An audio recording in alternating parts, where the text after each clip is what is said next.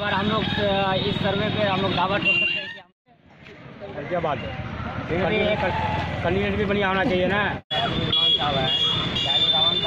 किसको सांसद चुनना चाहेंगे इस बार हम लोग इस सर्वे पे हम लोग दावा ठोक सकते हैं कि हम लोग किस तरह का बनना चाहिए मेरे साथ है कैमरा मैन अबू फरहान अगला सांसद कौन बनेगा? कौन बनेगा हमारा क्षेत्र का विकास हो?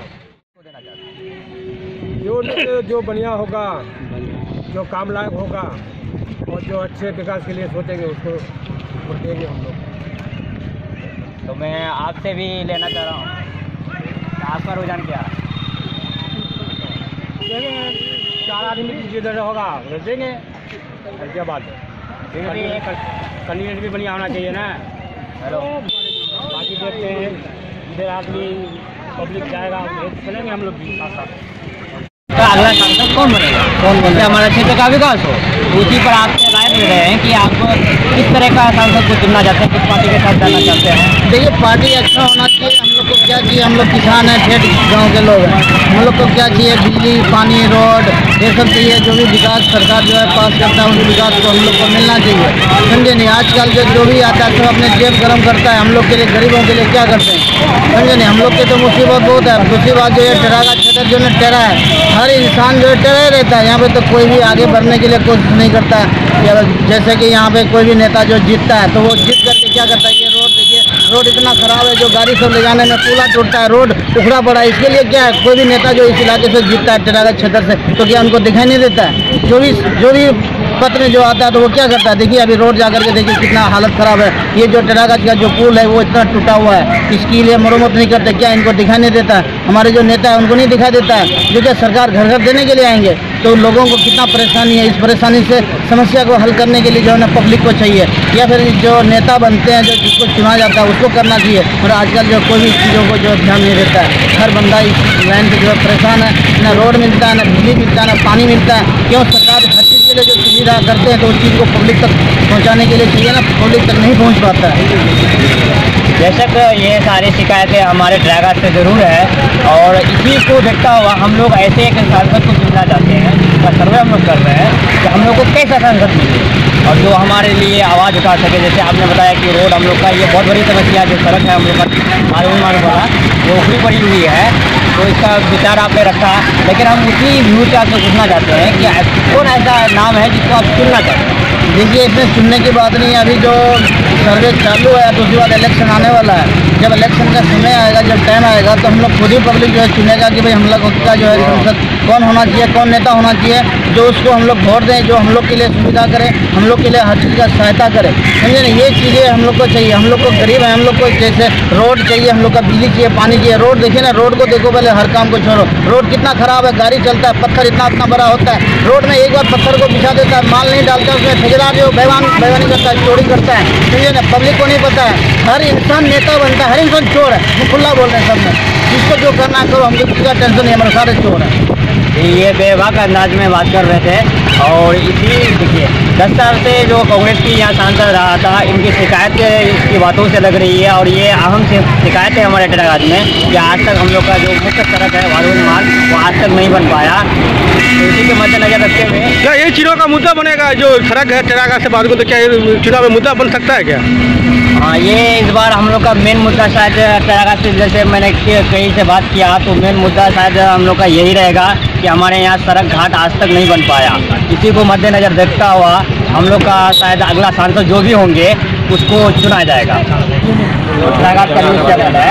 ये सर्वे कर रहा है कि अगला सांसद तो अभी जब इलेक्शन होगा फिर सोचा जाएगा किसको चुने नहीं चुने तो जनता की बात है।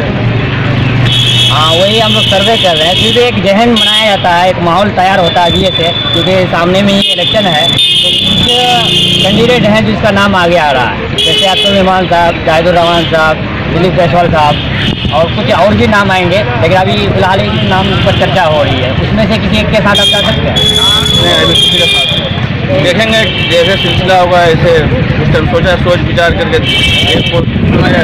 तो अभी तो अभी अभी जो टाइम है, ये टाइम में सब अपना ये बजाने का है। लेकिन कोई अच्छा प्रतिनिधि आज तक रहा है ट्रेगाज में न रहेगा। अब ये टाइम क्या हो रहा है, आगे सोच समझ के वोट डालना चाहिए, जनता को भी सोचना चाहिए कि हमारे प्रतिनिधि कैसा हो। जैसे सोच विचार वाला अच्छा होना चाहिए कि के लिए आवाज़ उठाना चाहिए पार्लियामेंट के अंदर आवाज़ उठाना चाहिए कि कैसा सीमांचल सीमांचल के बारे में। ऐसा सोच के समझ के वोट एक को दस डाल रुको रुको एक मिनट वर्णाजीत मेरे साथ है कैमरा मैन अबू फरहान आज सर्वे कर रहे हैं किशनगंज लोकसभा क्षेत्र का कि अगला सांसद कौन? तो मैं सबसे पहले मेरे चाचा जी का से मुखातिब होता हूँ उसका राय क्या है।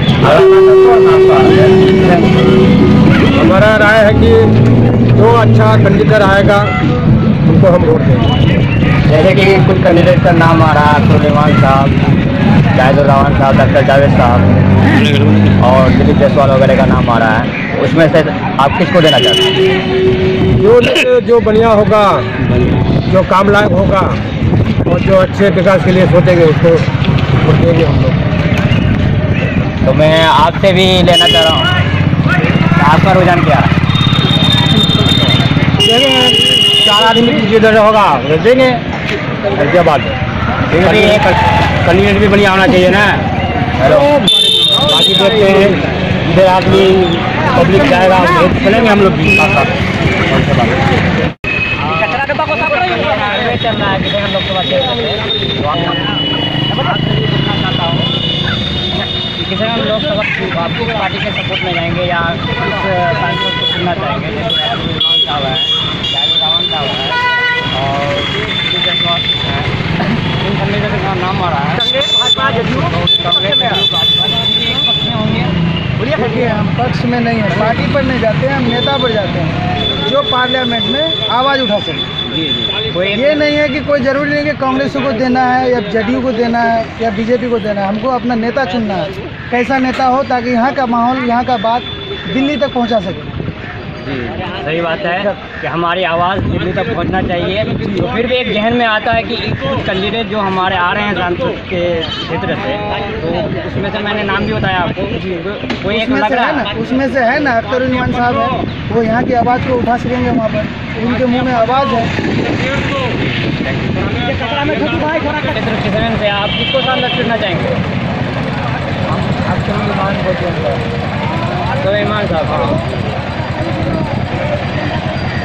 तो अभी तक के यहाँ जितने भी खड़े थे सबने अपनी राय रखी। किसी ने अक्सर इमाम का साथ दिया किसी ने अगले टाइम तक डिपेंडेड रहा तो अभी इस, अभी सर्वे का यहीं तक नतीजा पहुँच रहा है। अगला टाइम फिर हम कहीं और मोहल्ले में पहुँचेंगे।